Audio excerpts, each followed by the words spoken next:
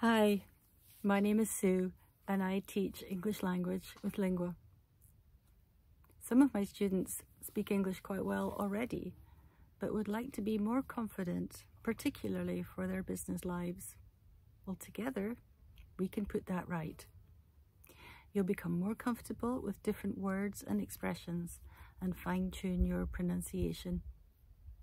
And if you need help with writing, well, we can work on that too. There may be a particular skill that you need to develop, for example, for business meetings or presentations. Let us know how we can help. Your course can be online or face-to-face. -face. And I look forward to meeting you soon.